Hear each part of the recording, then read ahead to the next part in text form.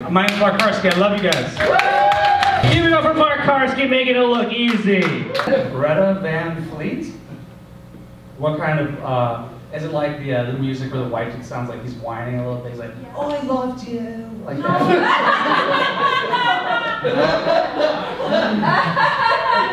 How much time do I got left? Because it's not going to get funny.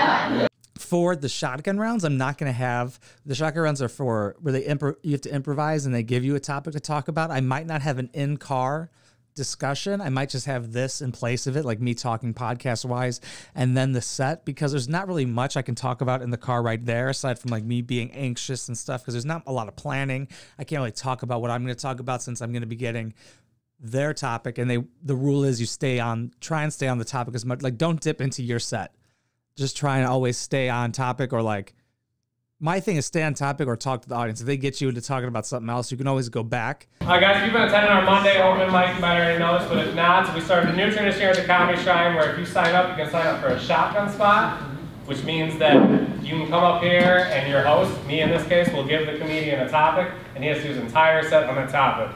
Which means if he's struggling, he's got to keep it going. He can't just dip into material and go from there. He's got to do the topic the entire time. Your next comedian has signed up for a shotgun spot. His name is Mark Carsky, and his topic is going to be concerts. Concerts. Oh boy. Is this on? Is it on? Yep. Okay, cool. I'm at the like I used to go to concerts all the time and just uh, like EDM concerts, but just to take drugs though. You know, just Molly. That's the only reason I would go. I love those. Not anymore though. I don't think there's a certain age where you can't just you can't take Molly and go listen to music and be fine for the rest of the week. That pushes all your serotonin, right? Or like dopamine or something like that? Yeah. Yeah? That would really fuck me over at 26. Mm. I, I feel tired just thinking about it. Oh my god. like my jaw just constantly chewing. And my friend talking to me like, uh, like I'm a dog. Mark, come here. Where are you going? Come here, stop, come here. I'm just like looking at him. And I just walk away. Because you just kind of follow the music or whatever feels good. You might just sit there and hum to the vibration of your body at a certain moment. Yeah? Have you ever done that? Just verbally hum? Like that? Is that matching your vibration? It feels good, right? Me at concerts on Molly, that's what I do. It's hum. Just like that. Has anybody been to a, uh, know it's been a pandemic, that- that's over, right? Is that, or is that still going on? Man. Man, it's kind of just fading away. I think people don't care anymore. Yeah, I never cared, but yeah, I think you're right. There's no masks, which is cool. Is the Ukraine, that's still going on, that's pretty fresh, right? That didn't just, eh, Yeah. and that's, that's, that's ending too. That's not ever gonna happen, dude, the price of gas. Is that correlated, or is that just? Something? It's correlated Yeah. somewhat. So it's, okay, I feel like they, that happens like every new president. Like every time the new president goes up, right, or does it go, I don't give a fuck, I don't care. I don't have a choice, it's not like you'd be like, oh, that's too expensive. What the fuck are you gonna do? Wow. You, you have to drive your car, dog, you can't. I'm just gonna go lease a Tesla, go lease this car here, at this concert. Um, has anybody got a concert coming up, or have you been to a concert recently, huh? You look at, you're lucky I can see you, I can't see fucking past the second, third, fourth row. Okay, what concert you going to, We've been to? Tool, holy shit. I'm trying to go see Greta Van Fleet in a few days. What was that called? Greta Greta, Van Fleet. Greta Van Fleet. Holy, it sounds like an old store. Oh my god. That would sell handmade shoes by people in town. Greta Van Fleet? What kind of, uh, is it like the, uh, the music where the white dude sounds like he's whining a little bit? He's like, Yeah. oh, I loved you. Like that.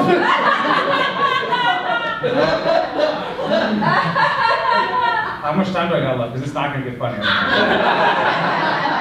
Two minutes, 15 seconds. Fuck. Yeah. I'll slowly walk and get the mic stand. Uh, so Greta Van Fleet, what kind? of, Yeah, I don't give a shit actually. Ba- Baby Led Zeppelin. Led, Led Zeppelin? Baby, baby Led I Zeppelin. like to like compare them honestly to like a mix of like Journey, Rush, Led Zeppelin. And a little bit of Pink Floyd. You know, I hate how much that didn't help me, honestly. Uh, I strictly listen to black music only. And I take it Greta Van Winkle is not black. Van Winkle sounds correct. Okay. Sounds like a Nazi. Greta Van Winkle. I love you guys. My name's Mark Carsky. Yo, what's going on, guys? Uh, it is episode. I almost said you read that title correctly. I always say that during my fucking uh, main channel YouTube videos. You read that title right? Uh, this is episode 32 of the comedian. Um, was having a little bit of anxiety about making this for some reason. I just haven't felt like filming in the past two days, or like I've just had stuff to edit, I guess. Um, and I've had like not a lot of time, I guess, to film. I can like film when I get home and stuff, but like I've been waking up, let's say, let's see, like usually at like between 9:30 and 11 and then then I fucking uh pretty much just get to work and after I eat and shit like that or whatever. That's not what this is about. It's about comedy. So I just watched my uh improvised set. The topic was not good. The topic was concerts. It's not good because um Corona, you know, there's nothing, no concerts, nobody going to concerts. Uh, there's a couple things I guess I could have talked about. I had a concert that was coming up, or I could have talked about concerts I went to. I feel like I really didn't like dive too deep into the topic that much. Also, this is like hard to talk about and critique, uh, improvising and riffing on stuff. You know, it's just um, I, I, you know, because it's not like stuff I had planned where I knew where I wanted to go with it. But even in the next episode where I um did kind of have an idea of where I wanted to go, but I kind of just went up there more like blindly with just ideas and stuff. But tonight I have one where I, and it's another shotgun round like this one was, where they give me the topic and I talk about it. Um, but I think it went good. You know, it could have been obviously, um, could have been worse, could have been better, of course, right? But like improvising and riffing on stuff is super hard. So I always try and get the crowd involved. So I think that's always a good thing to do when doing improvised sets and shit like that. Um, that girl was super helpful. I think I, I really wish I was. It happened deeper into the. Uh, this is why I like shotgun rounds because I talk about stuff I never talk about. Like where I got to talk about that girl's band she likes. I got to great make the Greta Greta Van Winkle joke at the end. I got to uh, the biggest laugh was where the oh I loved you where I did like the fucking voice of the uh, the whiny complainy white guy singing.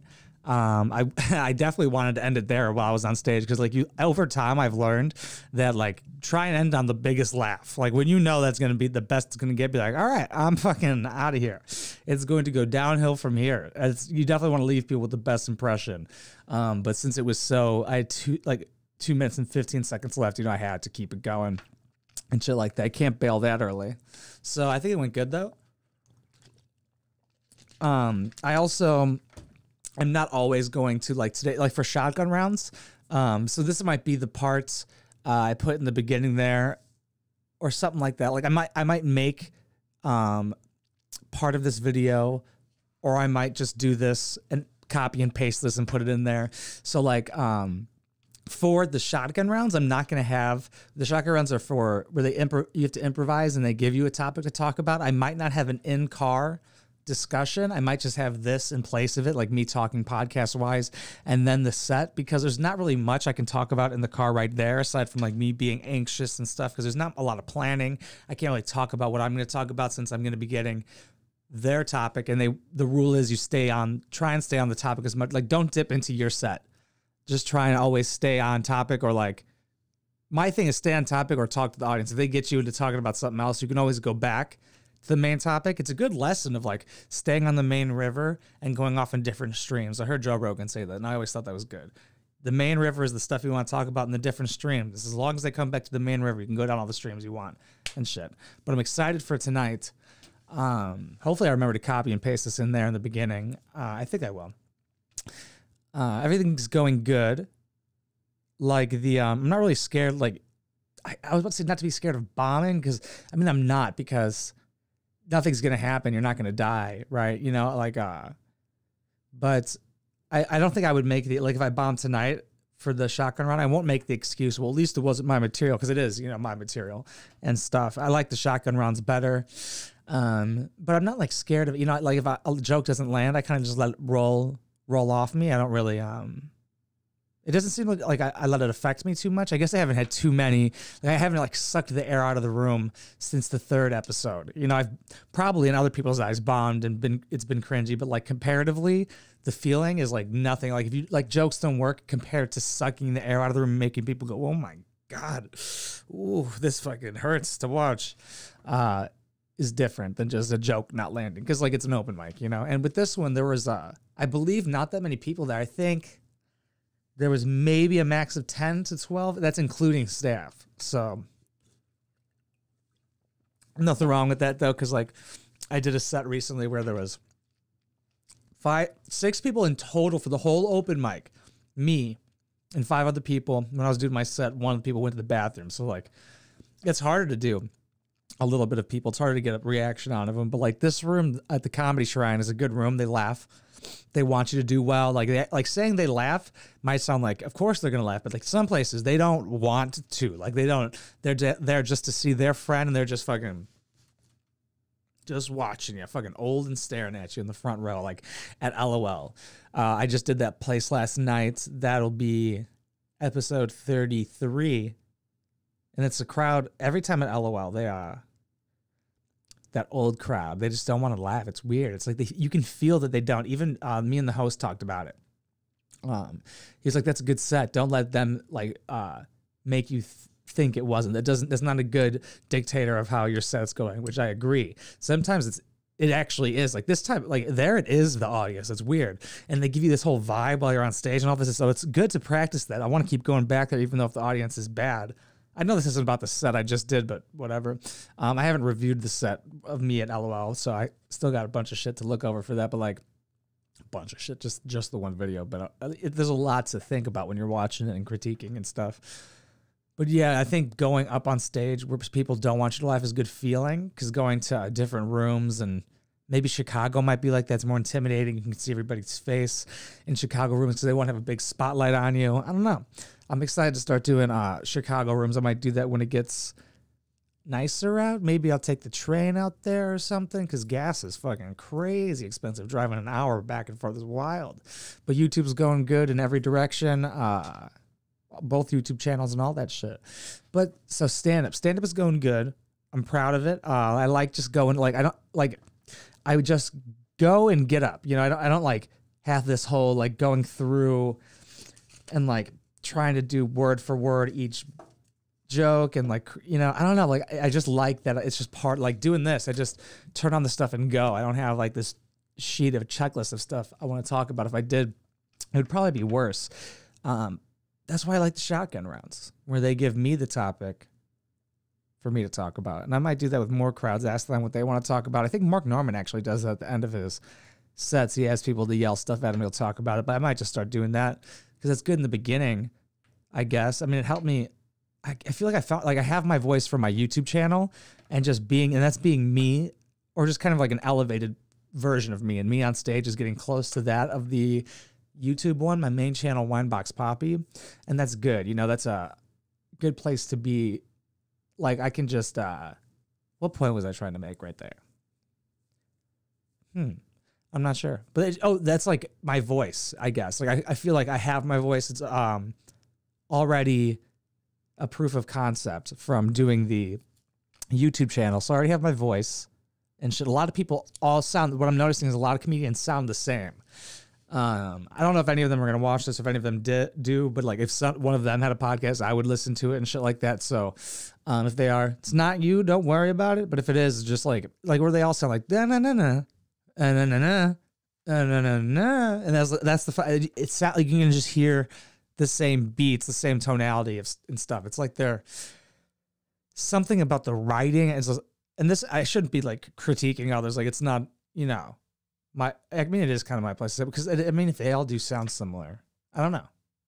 Because hmm, to me, that's like kind of the old style of doing it. You know, like the Jerry Seinfeld type, way. the new way is kind of like Louis C.K. ish, where it's like more storytelling with jokes inside of it. Uh, Bert Kreischer ish, you know, like or whoever else you want to talk about. Like the, like Mark Normand is like he still work. It, it still works. He, he's great. He's a jokey joke guy. If you want to see somebody who writes jokes and each, knows each single word for the piece and shit like that, instead of like a Joey Diaz, you know But uh, I'm not going to drag this out just to drag it out, because you know it's a improvised spot. There's not much to, you know, because I can't be like, oh, this part didn't work. Take this out. I can just find things that do work and keep them. You know, it helps me go down different avenues and shit like that.